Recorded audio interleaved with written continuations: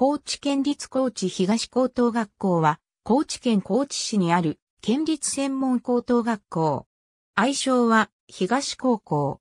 歴史1970年代初め、高知市周辺の人口が爆発的に増加したことにより、県立高校が不足した。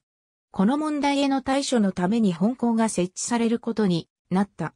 同様の経緯で創立された県立高校は、本校の他に、お高高等学校や高知南高等学校がある。交渉デザインは、本校の名称の頭文字である、火をモチーフにデザインされている。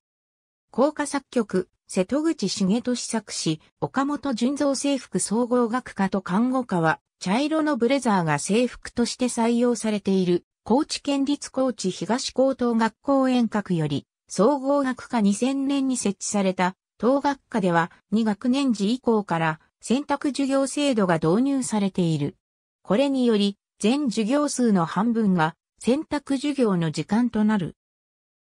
選択教科は63教科設置されている。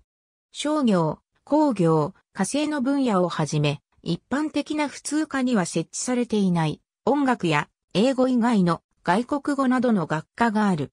看護科、看護専攻科2005年に設置された当学科は看護教育を経て、看護師国家試験を受験するカリキュラムが編成されている。